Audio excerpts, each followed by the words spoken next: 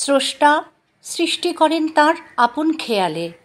তার পিছনে না থাকে তার কোনো পূর্ব পরিকল্পিত লক্ষ্য, না থাকে বাহিরের জগতে তা প্রচার করার কোনো উদ্দেশ্য।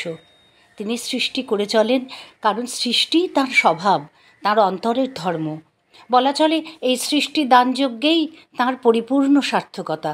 সময় সময় সেই সৃষ্টির ধারা এত বিপুল, এত অপ্রতিহত হয়ে ওঠে যে তা একটা সম্পূর্ণ নতুন যুগের অবতারণা করে।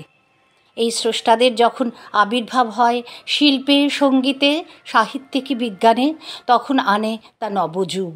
তাদের ভিতর দিয়ে জাতির চিত্তের ধারা নূতন পথের সন্ধান পায়, নূতন প্রাণাবেগে স্পন্দিত হয়ে ধেয়ে চলে। জাতির প্রতিভাকে তারা মূর্ত করে তোলেন। তারা যে সম্পদ তুলে আনেন, তাদের অন্তরতল মন্থন করে তা পরিণত হয় জাতির ঐতিহ্যে। এমনিভাবেই যুগে যুগে মহাগুণী স্রষ্টাদের দানে দানে জাতির পরিব্যাপ্তি। আমরা বাঙালিরা রবীন্দ্রনাথকে পেয়েছি বলা যায় না চেয়েই, যিনি একান্তভাবে বাঙালি হয়েও কি অপরিসীম গুণেই না সমস্ত গণ্ডি ছাপিয়ে বিশ্ববরণ্য হয়ে উঠেছিলেন? আজ বাঙালির পরিচয় রবীন্দ্রনাথেরই পরিচয়। তাই তো পঁচিশে বৈশাখ আর বাইশে শ্রাবণ দিন দুটি আমাদের কাছে বিশেষ দিন হয়ে উঠেছে।